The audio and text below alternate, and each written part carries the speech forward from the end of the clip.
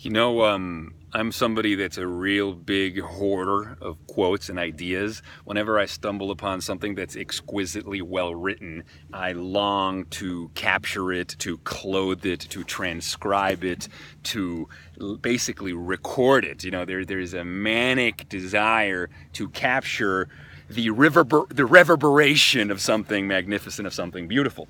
And so there's all these lines, you know, that I have in my head that seem to apply to almost every moment of contemplative exactitude. One of them, of course, is I look upon this horizon and I think to myself, and all the clocks in the city began to whir and chime. Oh, let not time deceive you. You cannot conquer time. In headaches and in worries, vaguely life leaks away, and time will have its fancy tomorrow or today. So that's kind of depressing, right? That's about dread. That's about time passing no matter what. But then there's other lines, other lines that inspire me.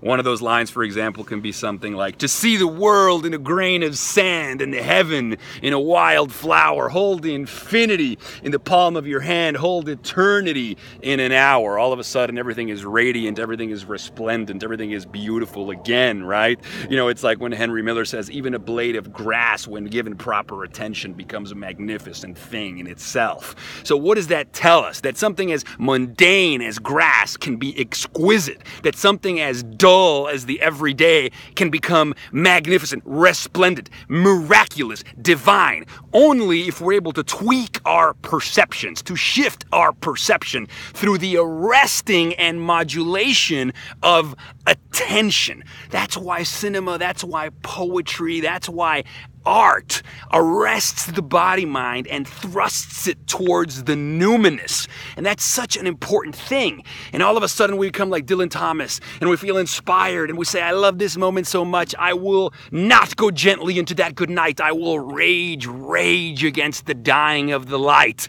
I will practice random kindness and senseless acts of beauty because minds are like parachutes and they only function when open. And Timothy Leary was right. In order to use your head, you've got to go out of your mind.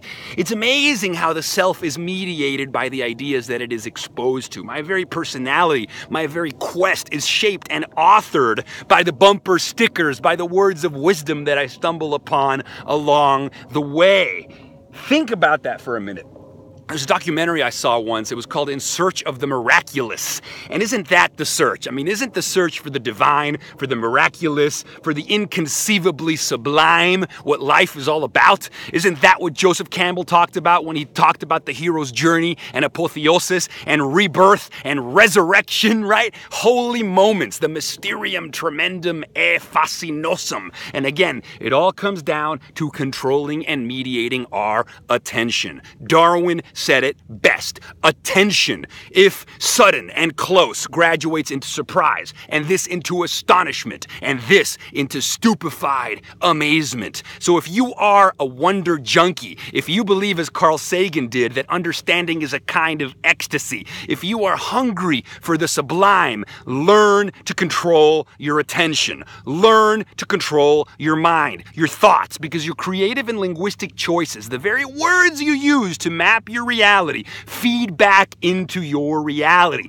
You are the painting, you are the paintbrush, you are the canvas. You are the question, you are the answer to the question you are looking for. You are also, my friends, the question. You are everything. We are everything. We are sentience. We are consciousness, the most sublime, miraculous thing in the universe. So you better be having a good time and authoring your fate.